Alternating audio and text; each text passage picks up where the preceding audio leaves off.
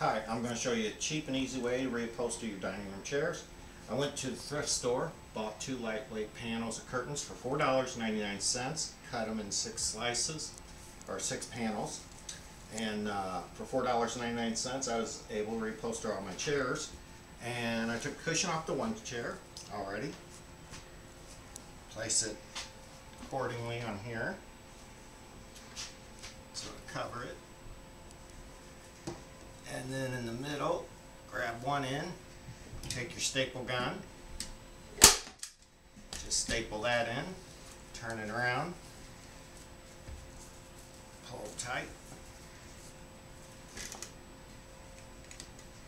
staple that, go to your other side, pull tight, go to your other end and pull tight on that. Then what I do is I start stapling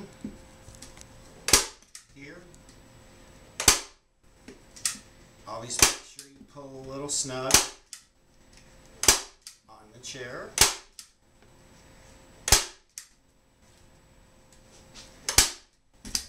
Then you want to just pull here real tight.